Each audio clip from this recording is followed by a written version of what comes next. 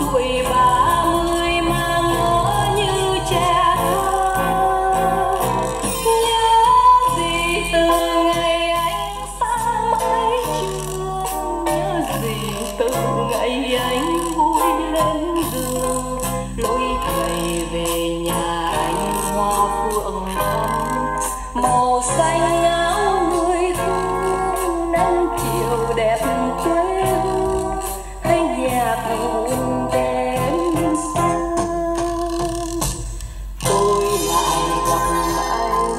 trời đêm nay sáng qua ánh trăng như